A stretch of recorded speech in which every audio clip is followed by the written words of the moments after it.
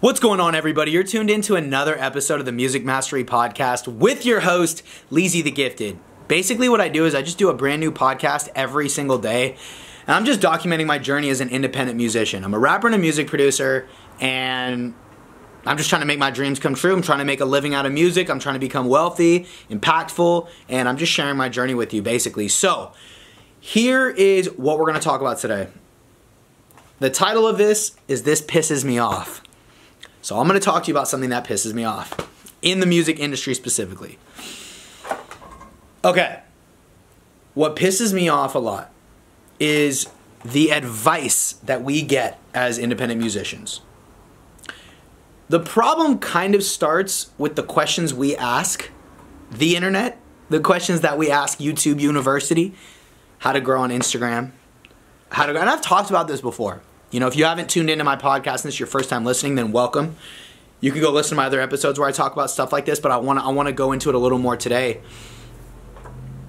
Here is basically what I see happening. I see artists looking to grow on Spotify, looking to grow on Instagram, uh, looking to grow on YouTube, or on TikTok right now. TikTok's hot, right? We live on TikTok right now on the other phone. And we wonder why things aren't happening the way we want them to happen. There's a couple of things. Number one, you might just suck. Your content might just not be good. That could be it. It could be you haven't done it long enough. You might be putting out tons of great content, but you haven't done it for a long enough time to the point where you even know if the content's good. That could be something that that works. But the problem is, I personally think, and this is just from me asking questions. Why don't fans come back? That's the thing that pisses me off. And what really pisses me off is the way, is the stuff that you pay attention to as a musician. Not just you, me. The stuff I've paid attention to. I'm not going to talk about what you should do. I'm just going to talk about me and my journey, talk about it, because I don't want to. I don't want to come off as like I'm lecturing you, because I'm not trying to do that. I'm just trying to document my journey, okay? But like, I would get so mad when you you watch videos and people put super catchy headlines, which, which I don't blame somebody for putting a good headline or a good title for their video. They're trying to rank. But the content isn't really that valuable. It's not. I've realized personally that, you know, trying to search through all of YouTube and trying to, you know, figure out how to make all this stuff happen like the whole business side and the marketing side, you're not going to learn that all on YouTube for free. I mean, that's what I learned. And what pisses me off is is is all these people put these they're they're they're selling you on that that they know how to help you market when when then you get to the point where you pay them for advice or you pay for their course or you buy something from them and it's still not that good. And that pisses me off. It makes me upset as an me as an independent artist by the way. This isn't me talking as competition to those people like cuz I'm trying to do the marketing thing and help. That's not this isn't that. This is me as an independent artist. This is me as a rapper. Got it? That's one of the reasons that I even want to be a, a coach. That's why I coach artists and producers. Because I want to give people the stuff that I never got. I'm trying to figure it out on my own because that's what I've learned is you have to figure it out on your own. But I've also learned if you pay for coaching and you pay for mentorship from the right people, that you'll get that you'll be able to get something out of it. Like I got mentored by Legion Beats personally, and that helped me a lot. Right? I've had a coaching call with Wishmaster that helped me a lot. It was huge for me to get mentored by those kinds of guys. And it made me realize that that is that next step for people is to get that mentorship.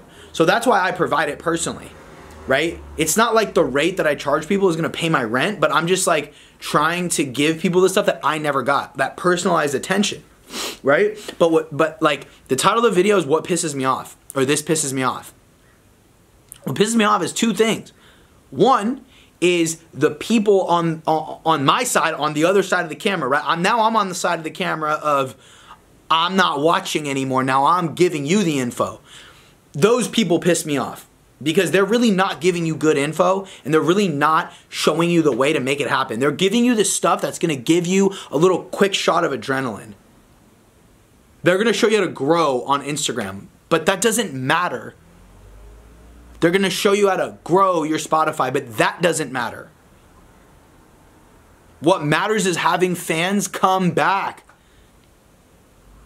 And if we were to just use our eight inches between our ears and think, we'd realize that that stuff is BS.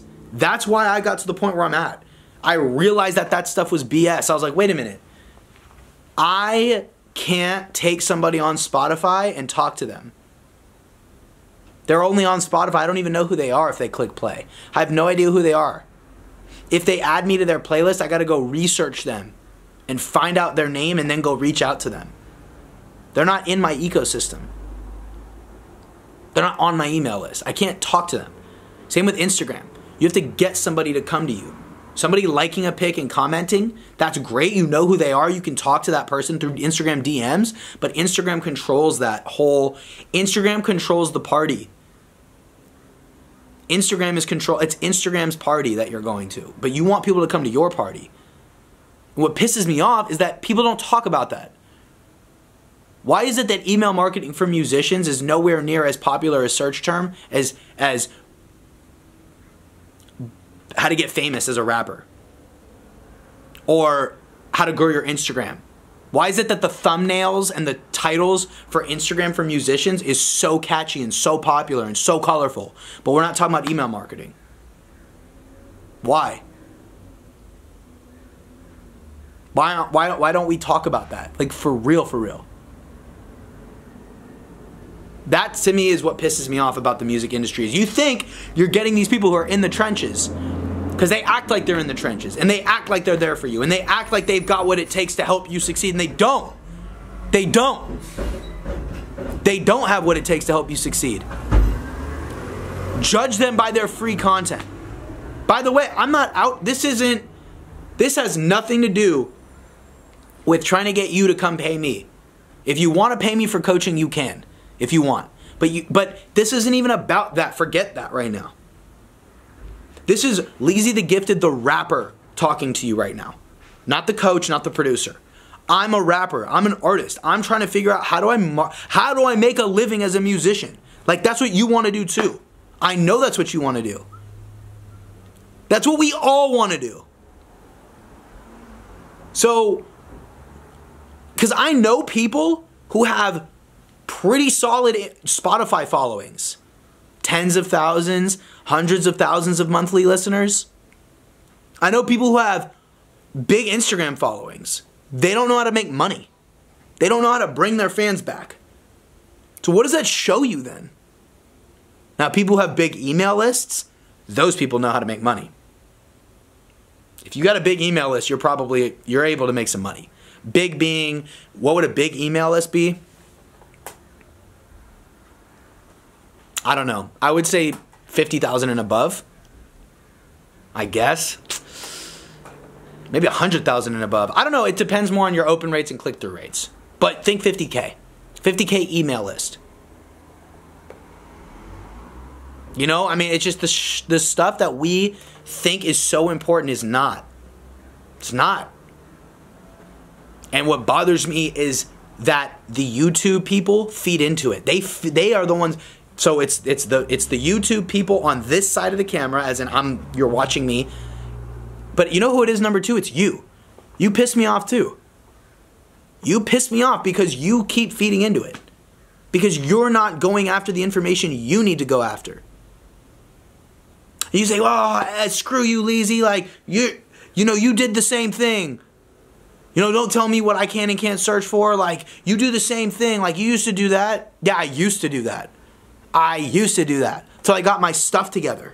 And I was like, wait, this doesn't make sense as to how this is going to help me. Like, I don't get why having an Instagram following helps.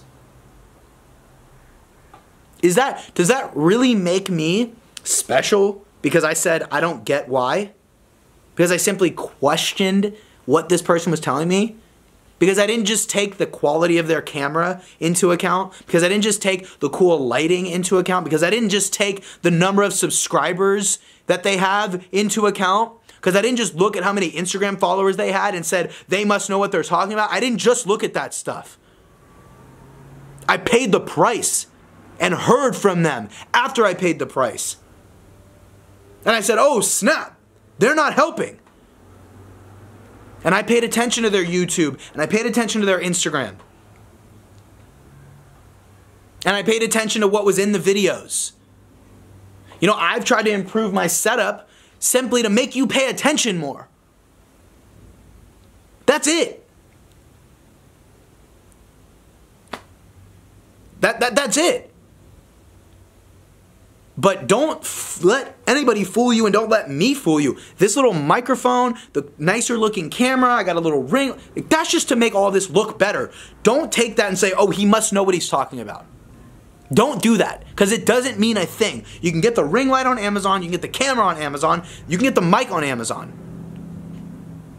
You can set things up to make it look like you know what you're talking about, but you don't.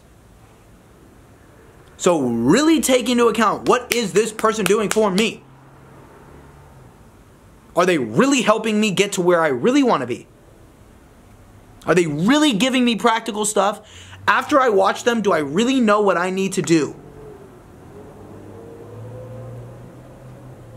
And if and if they don't, if they don't help you, then guess what? Stop watching them. Don't pay for their stuff. It's a waste of your time.